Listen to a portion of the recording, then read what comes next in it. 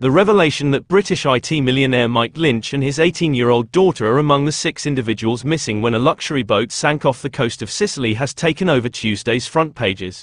The headline, Tycoon Missing in Yacht Horror, appears in the Metro. The first story in the Daily Mirror is the tale of British mother Charlotte Golunski, who rescued her infant just before the yacht capsized due to the storm. The 36-year-old said that she momentarily lost sight of her child but that she was able to reach her and support her, with all my strength, after that. As per the Daily Telegraph, Mr. Lynch is feared dead, and the purpose of the trip was to commemorate the resolution of a court dispute.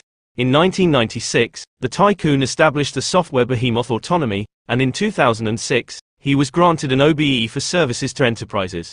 He was exonerated in June of carrying out a significant scam connected to an £8.64 billion sale to the US corporation Hewlett Packard.